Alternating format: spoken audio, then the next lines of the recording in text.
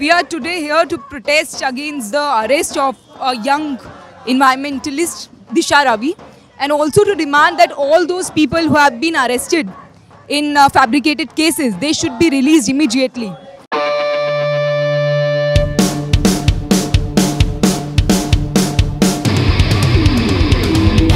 ये जो सरकार है जब से ये आया है ट्वेंटी फोर्टीन में पावर में तब से हम देख रहे हैं कि जो भी जो भी तबका इनके खिलाफ आवाज़ उठाया है, वो इधर एंटी नेशनल कहलाया है टेररिस्ट कहलाया है टुकड़े टुकड़े गैंग कहलाया है, खालिस्तानी कहलाया है ऐसा कोई तबका नहीं है जिसको आज हमारे नरेंद्र मोदी ने ब्रांड नहीं दे दिया है।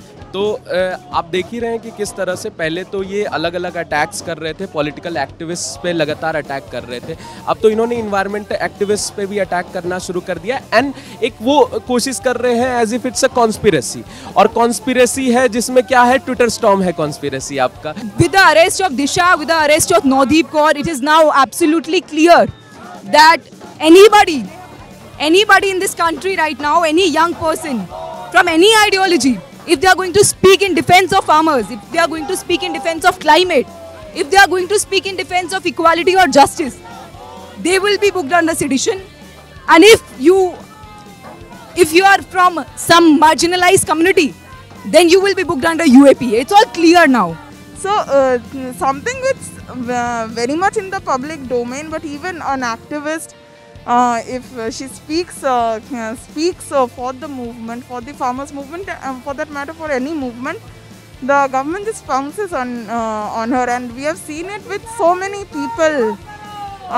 we have seen with it with Nadeep Kaur, who was arrested. She has been sexually abused. we we have seen it with Shiv Kumar. Uh, we saw it with Natasha Devangana, we, uh, the anti-CA protesters, Nitin Raj from Lucknow who was arrested.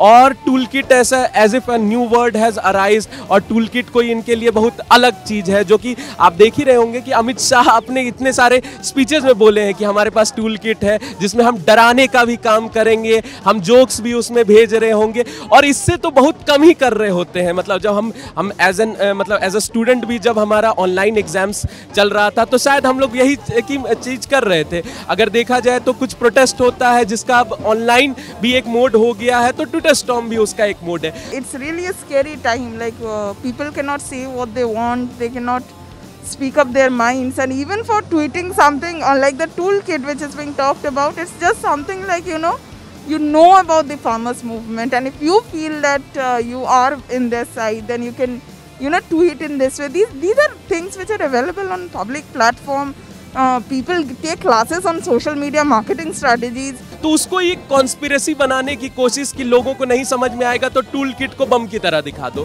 तो ये लगातार कोशिश इस सरकार की है और उसके लिए इन्होंने जितना भी जितना भी फोर्सेज हैं जो आपसे डिसेंटिंग वॉइसेज है, उसको रिप्रेस करने का काम किया। चाहे शांतनु हो, चाहे दिशा रवि हो, इनको किस तरह से जेल में डालने का कोशिश कर रहे हैं? अब दिशा रवि को तो डाल भी दिया है।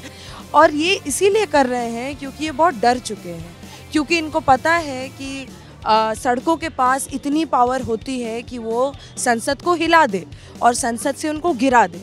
और इसी बात से वो इतना डर गए हैं कि आज के टाइम में एक ट्वीट का रिस्पांस करने के लिए हमारा एक्सटर्नल मिनिस्ट्री एकदम से एक्टिव हो जाता है। So so anyone speaks against the government and the Delhi police says speaking against the government is sedition So, uh, like, uh, it's uh, sedition was a law which was brought by the British to curtail the freedom movement in India, and now the BJP is using it. So, uh, like, it's no less than the British Raj. um, uh, which uh, which we are under now. आज के time में एक tweet का response करने के लिए हमारा external ministry एकदम से एक्टिव हो जाता है वो ये बोल देता है कि कोई भी इंडिया के इंटरनल मैटर्स में ना बोले। जबकि वो खुद सेम एक्सटर्नल मिनिस्ट्री उसी वीक म्यांमार में जो चल रहा है, उसके लिए स्टेटमेंट निकालता है। तो ये जो हिपोक्रेसी है that is the exact definition of this BJP government ये कभी भी हमारे देश के लिए नहीं लड़े हैं। मोदी जो आरएसएस में काम किए हैं, वो आरएसएस कभी भी इंडिपेंडेंस मूवमेंट हो, चाहे देश के निर्माण की बात हो, कभी भी उसने देश के लिए नहीं सोचा। तो आज भी वो देश के लिए नहीं सोचते हैं। वो बस उन कॉरपोरेट राज के लिए सोचते हैं, जिस तरीके से इंडिपेंडेंस के टाइम पे वो ब्रिटिश राज के लिए सोचते थे। But I we are just here to tell the government and also to tell the Delhi police that you are not following any procedure you are arresting people arbitrary not following any procedure which is there in the act which which even the constitution mandate but and if you think since you have the authority of the gov- government, since you think that you have got the majority and you will do anything, will bypass all the laws, all the procedures, and then you think that the young people will get afraid and they will stop coming out on the streets and they will stop coming out in defense of their country and democracy, then you are wrong. तो हमें आज इस दौर में ये ज़रूरत है कि हम सब मिल के सड़कों पे उतरें और बार बार उतरें और इस सरकार को बताएं कि आपकी जो ये फासिस्ट सरकार है इसको हम नहीं चलने देंगे और हम अपना देश दोबारा रिक्लेम ज़रूर करेंगे और मुझे लगता है कि आगे के दौर में ये रिप्रेशन और मज़बूत होगा लेकिन उसी के साथ जो हमारा प्रोटेस्ट होगा जो हमारा इनके खिलाफ लड़ाई होगा वो और मज़बूत होगा because the more you are going to repress, the more dissent is going to spread. That is what we are here to say. We are not afraid.